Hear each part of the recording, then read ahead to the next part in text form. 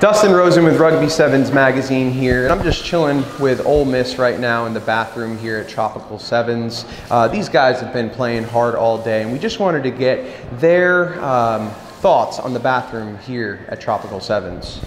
And there's been nothing that's compared to the amenities that we've had here. Here, like the soap is stellar.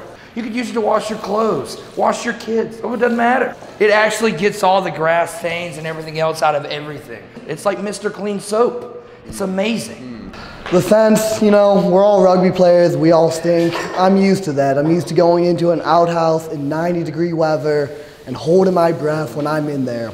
And that hurts your game. You use up all of your lung strength holding your breath in the toilet. Here you walk in, it's refreshing. It's tropical. You feel like you're in Florida. It feels great. A lot of places they just they just they just don't care as much as here. Because here you have something called two-ply toilet paper, sometimes even three-ply.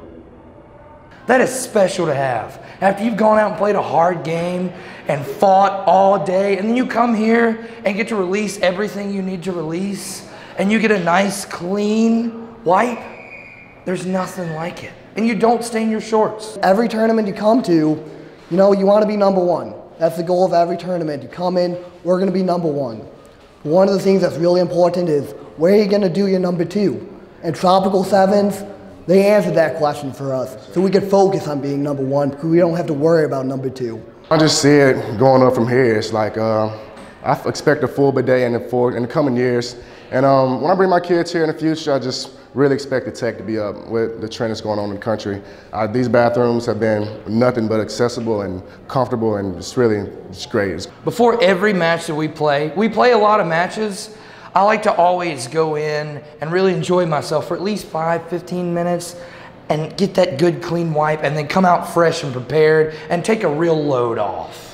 Well, thanks so much for talking to us today, guys. You know, we really appreciate it. Uh, we hope that you Hey, hey, um, I gotta go use the restroom, not because I have to, but because I want to. Well, I'm gonna hop out, man. All right. See you guys. Well, I think that speaks for itself. Tropical Sevens bathrooms are out of this world. Good? Hey, it's dad!